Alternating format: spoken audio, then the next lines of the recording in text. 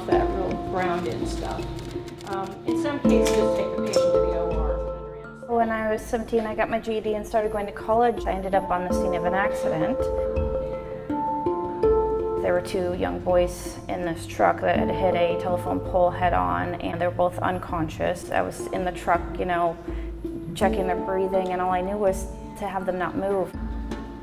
I had been in a first aid class, but I felt like I wanted to be able to do more for them than I was able to do at that time. The more I looked into it, the more I realized that that is where I needed to be, was in medicine and helping people. I moved here and I started going to Olympic College and taking some of the prerequisites for either nursing or something in the medical field. I knew that there was something in the medical field that I wanted to do, but I wasn't quite sure. You know, PA school or possibly nursing school or something like that. Another PA that I worked with in the emergency room, turns out he was a MEDEX graduate. He says, hey, look up MEDEX Northwest. And he wrote it in a little yellow sticky note and handed it to me. I looked it up and it just, it seemed like, wow, this is something I can get into, this is something I can do, because ultimately it would put me where I wanted to be.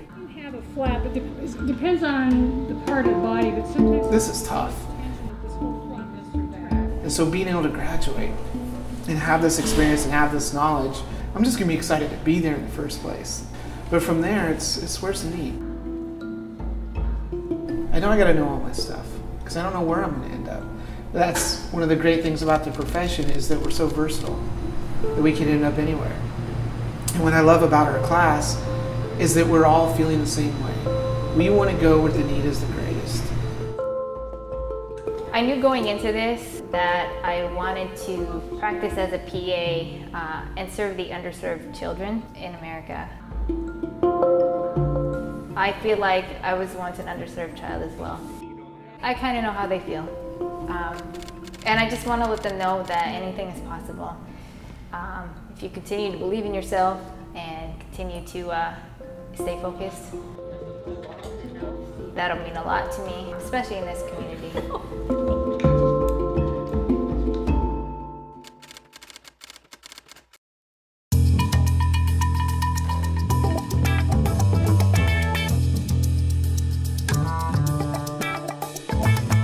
Grace Fisher, John Pennington, Inaro Cardenas, Brenda Levine.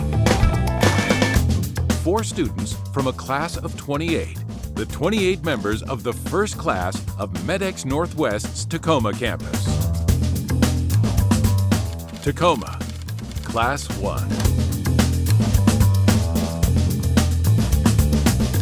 The expansion of MEDEX Northwest's Physician Assistant Training Program to the University of Washington's Tacoma campus was a result in part of a 2011 White House initiative. We announced a new initiative to make it easier for veterans to get jobs, putting their skills to work in hospitals and community settings. With a particular focus on facilitating a career path from military medic to physician assistant. Working with key university administration and faculty members, MEDEX leadership applied its newly granted federal funds to the creation of a new classroom and a new PA education site, one that seeks to facilitate the pathway for military medical personnel to move up the civilian healthcare career ladder and into the PA profession. The program as a whole has a history of initiating new sites and responding to Uh, increasing training needs of their applicants. This was another opportunity to respond to those needs by moving closer to the local joint base and opening a site within a university that really has roots in providing education to urban underserved communities. This campus's administration is, is very interested in the, in the military bases and very assertive about reaching out to the bases to partner up on programs for veterans across a wide range of academics and disciplines. For me, the proximity to the military bases is very important. We have uh, Joint Base Lewis McChord, which is Fort Lewis and McChord Air Force Base, and we also have Bremerton Naval Base. We can reach out to our naval brethren or Army or Air Force as they get ready to retire or they're done with their military career and they want to move on to something else. So we have a lot of experience just sitting there ready to be tapped into. And tap into it they did. Of the 28 members of Tacoma Class 1, 14 of them, half the class, brought military experience with them to the MEDEX program.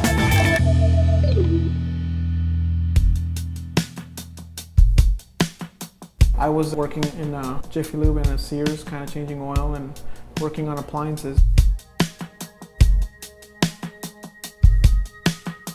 I originally joined to be an air traffic controller, but they chose corpsman for me. It turns out it was something that I really liked and something that I was actually quite good at. I was embedded with the Marine Corps in a Marine platoon, so I was the medical personnel for them. So I was not doing very well and I said, look, I needed to change my life around and do some new things. I want to help people, I want to do the right thing, and that was when I decided to join the military. I actually was very interested in being a medic and in fact told the recruiter that I wouldn't join unless I was able to be a medic and so luckily that was available. I actually joined the military for several reasons. One, I have a huge family history of people serving in our military. And two, being part of a family of immigrants that came here from uh, the Philippines, I wanted to give back in a way. And it was time for me to leave my house at 18 and, and figure out who I was. I was 20 something years old, acting like I was 16, and I, I needed discipline. And I needed a job that, that I could stay with, like a trade craft. And so that's why I decided to join the Army. When I did, you know, just talking to the recruiter and I picked medicine. And right away, I just realized that I loved it and realized that I was good at it. Once I became a medic, I got uh, stationed at Fort Riley, Kansas. First thing I did was train the MET teams, which are uh, military teams that will train Iraq or Afghanistan armies. And what I trained them was combat lifesaver courses, so just basic first aid, bleeding control, starting IVs, CPR, you know, things to keep somebody alive in trauma. My first deployment um, it was in 2004, and uh, that was with 3rd LAR. LAR, we're a kind of economy of forces kind of unit, so um, we ride in these eight-wheeled, angled vehicles that are amphibious. Whatever it take a lot of units to do something, we can do it with a lot less people. What's up, y'all? This is uh, January 29th, Saturday. Here in Iraq right now. We're moving to. That deployment, we were in the assault of Fallujah. From there, we went on to Ramadi. By uh, Ramadi, Fallujah area. Uh, we just got told that we're going to uh, via Iraq-wide QRF. So the chances are is that we might be going to uh, Baghdad or something. So we were pretty much like a traveling carnival, and we went from pretty much all, all aspects of Al Anbar province in Iraq on the first time. Yeah, so that's what we're doing. We're just We would do a raid in the area, and then as soon as the area was secure, me and a few other corpsmen, we would set up a little, a little shop and try to uh, see some of the patients that you know some of their ailments that they might have. We call it like try to win the hearts and minds of the people by doing that. We would also bring blankets and soccer balls and school supplies to the children. I remember landing and we're like, yeah, we're not going to see much. The Iraqi army, they're nothing. Like, we're not going to get hit. You know, this is nothing. And the second day, we just we just got hit so hard. People are getting injured, traumatic injuries left and right. So you learn enough to be able to save a life in combat medic school, but you don't really refine those skills until you know you have enough training or you've actually seen it before. And I remember looking over this guy, and uh, he was bleeding out, losing his, he lost both his legs. And uh, my buddy, who was a medic, he came up to me, and he just looked at me and he said, "You start CPR. Let's wrap some tourniquets on this guy. You start CPR." And uh, after that, everything clicked for me. All my training, everything I knew, who I was as a person, and how I was trained, it just switched a gear in my mind permanently. When I was in the Army, even though I was working with physician assistants, I never, it never occurred to me that I could ever be one. You know, I was a PFC and they were captains or majors in the Army, so they were pretty high ranking compared to me, and I didn't have the education, so it just didn't occur. But of course, the idea of becoming a PA would occur to Brenda as she began to explore her options outside of the military. When I got out, I decided to go back to school, and I was actually trying to get into paramedic school. I wanted to be a paramedic firefighter. I applied twice, got rejected twice, and they told me that my combat medic time and time working as an ER tech in Olympia didn't count. Hinaro, too, ran into some initial roadblocks on the path to becoming a PA. He took orders to a naval hospital in Rota, Spain, intending to get back into school and to move on to the next step. But um, unfortunately, I got stuck in uh, in the ER where I just worked nonstop shifts. And then as soon as the shifts came up, I got actually augmented back out to Iraq on my third deployment, and that ended up taking about a year. Seemed like there was no time for college, no opportunity for change. I mean, I was making rank really well. I was making rank fast, and I mean, I was progressing in my military career, but I always wanted more. I wanted to get out of the army. Like the others, John Pennington found himself caught between the proverbial rock and hard place. I looked at what I could do, my jobs. I could be an ambulance driver, you know, 12, 14 dollars an hour. Maybe I could be an ER tech. And at one point I thought, I should just go into a different field, maybe law enforcement or this or management or something. I said, why would I do that and waste this entire skill set that I had? But then, things began to shift. It wasn't until I actually, I worked with a PA in Rota, and he was like, well, why don't you try PA?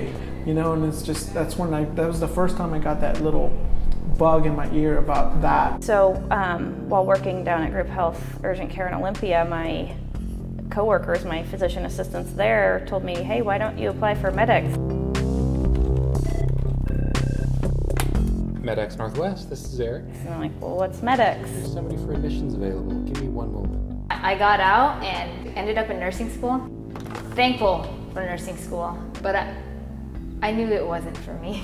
I knew where my heart was. Moving back up here when I got stationed at Fort Lewis for my last assignment, you know, one of the ladies that went to our church is a MEDEX graduate, so she told me all about MEDEX. This opportunity came up when I was six months pregnant with my second child, with the possibility of Tacoma site opening up. And I started looking into it and I said, you know, I've, I've only a couple classes away from the requirements and I was just finishing up my degree, so I finished it up and I applied. I did get an interview.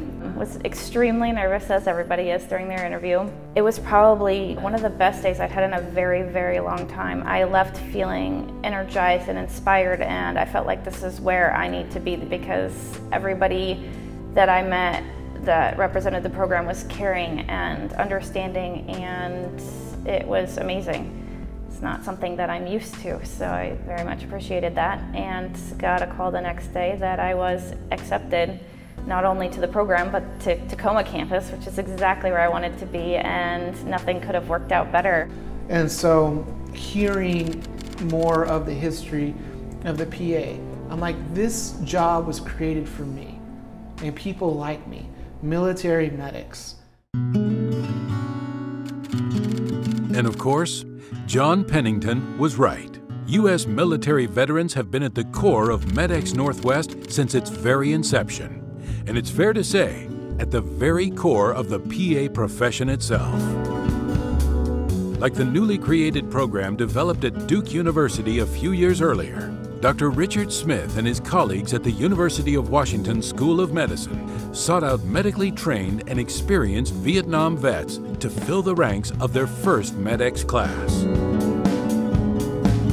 Men like Bob Woodruff, Army Special Forces. I was in Special Forces medical aid training called 91 Bravo.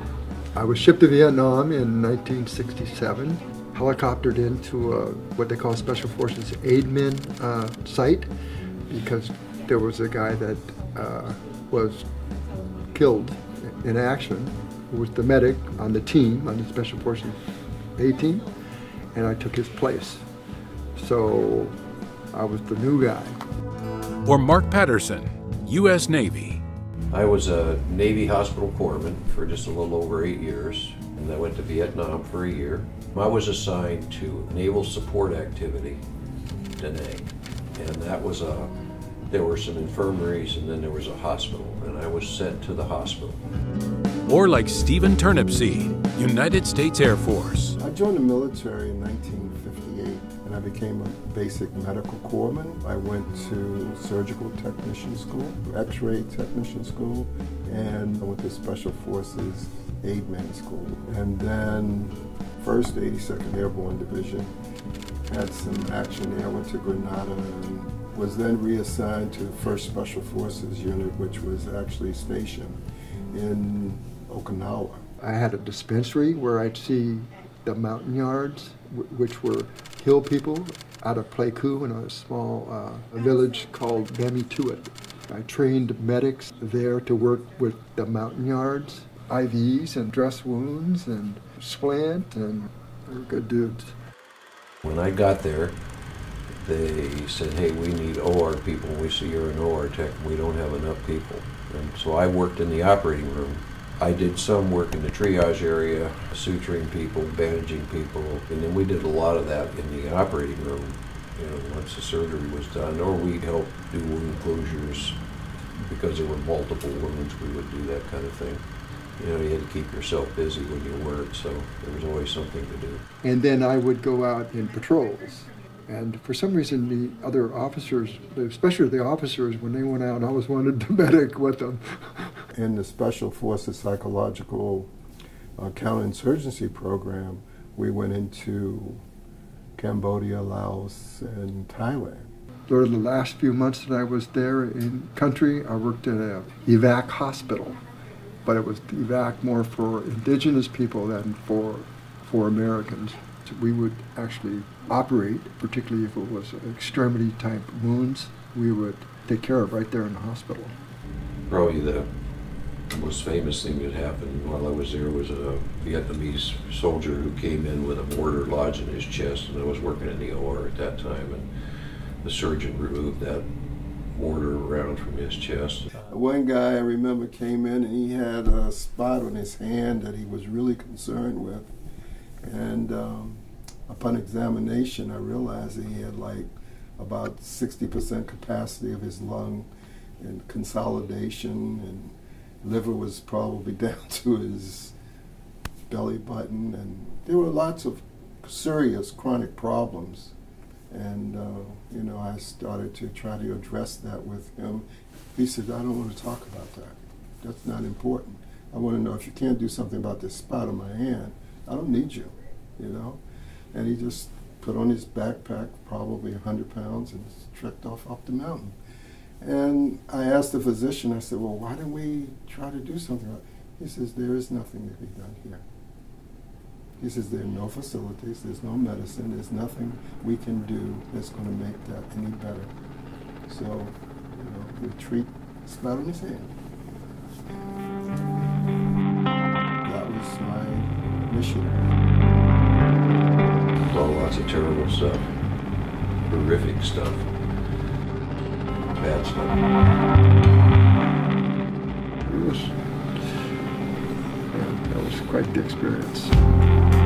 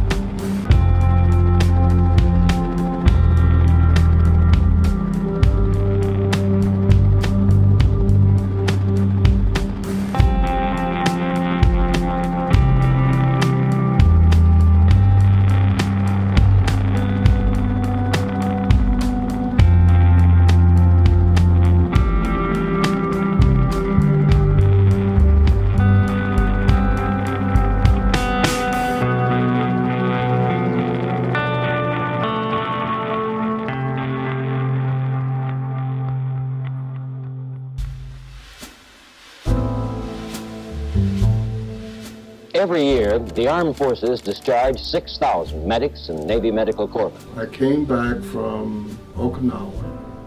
I landed in Oakland, and uh, they gave me a discharge.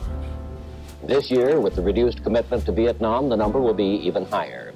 I really didn't know what to do or where to go or where I was going to go. Most of the discharged men turn to jobs in which their service skills are wasted. I found a job working as a hospital assistant, nursing assistant. cleaning bedpans in the hospital.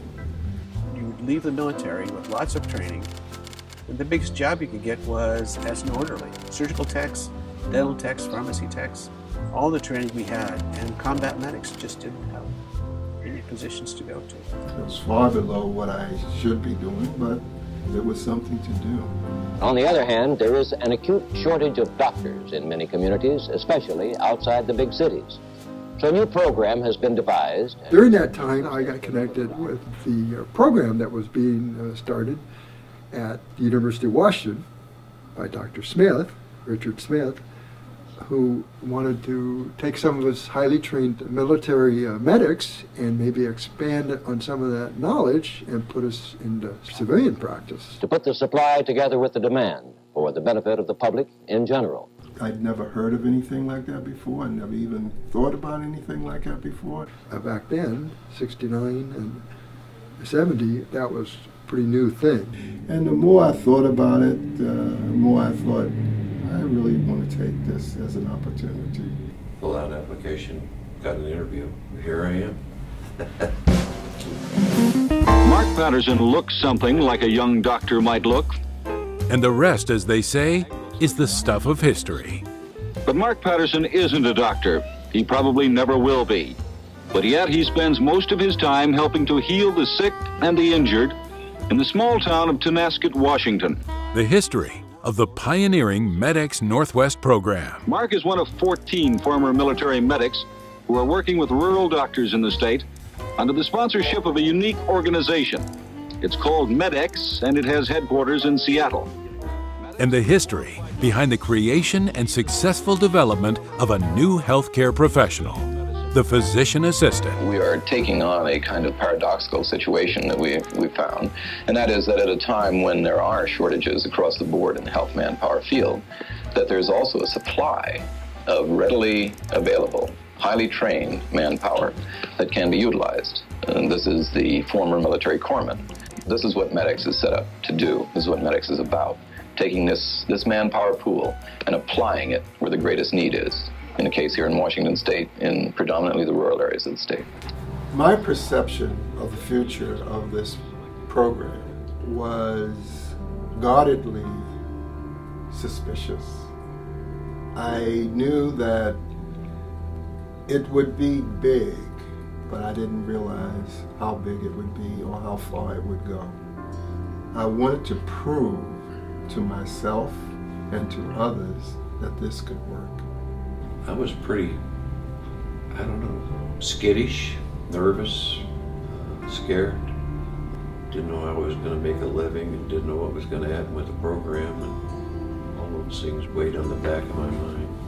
I really didn't want to be on TV, but they sent this crew and they were there for, I think, maybe three days. And that was probably the, the first time it really woke me up as to what was happening with the PA profession and that it seemed to be working and they were telling people about it. In the hospital, I do histories and physicals on the male patients.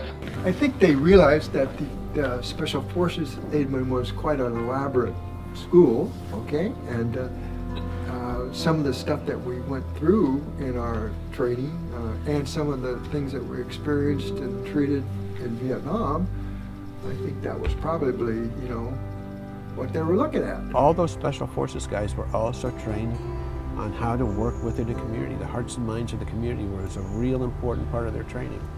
Dick Smith really saw that training as an asset, not just in medical training, but the training on how to work within a community. But it wasn't simply their medical training and experience that made these early pioneers so attractive to the creators of a new profession. There was something else. Something that came from their shared experiences as comrades, soldiers, warriors. It's hard to explain the sensation or feeling that you have related to actually caring for someone who's been wounded and killed.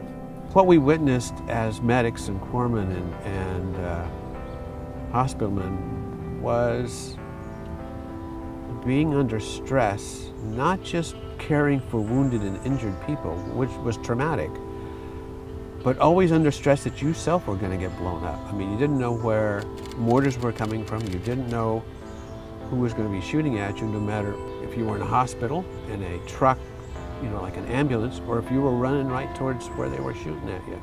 It did lend a quality of shared experience and knowledge. A quality of shared experience and knowledge held not only by the 12 members of Seattle Class 1, but by the 28 members of Tacoma Class 1 as well.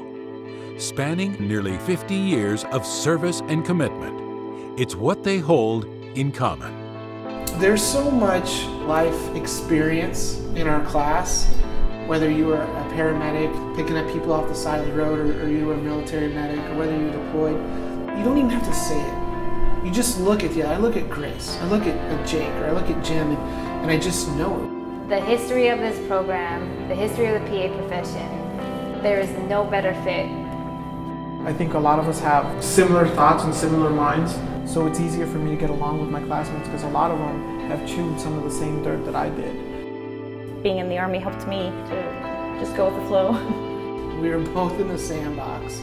We both, you know, did whatever we did. We built ourselves a pretty good support structure where we are being successful. And that's our motto, 28 in, 28 out. And with somebody, I don't care who you are, where you come from, what you look like, if you're next to me, you're my classmate. You're my brother, you're my sister, and I'm gonna pull you through.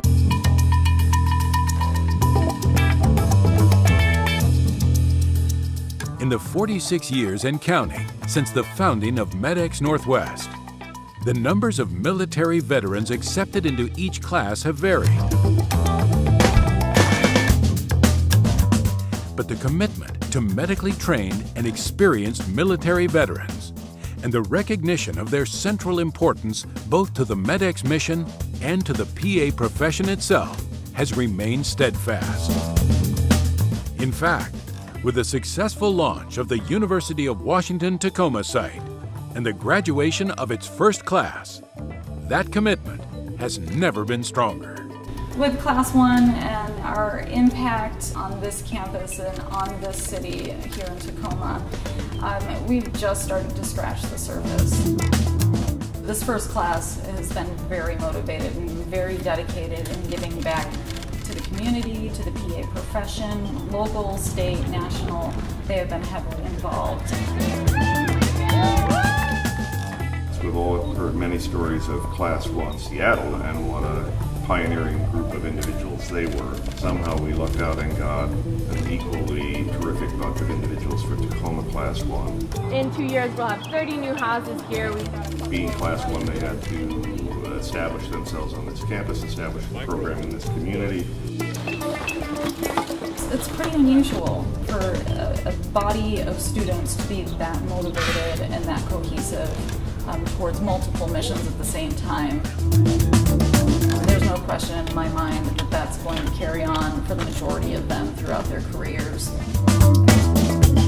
There's so much room for us to, to do more in this community other than just showing up and teaching students and, and churning out really good PAs there's there's a huge space for us here and we've been welcomed and supported and encouraged to really grow in all directions within the university within the city the sky's the limit as far as what we can do.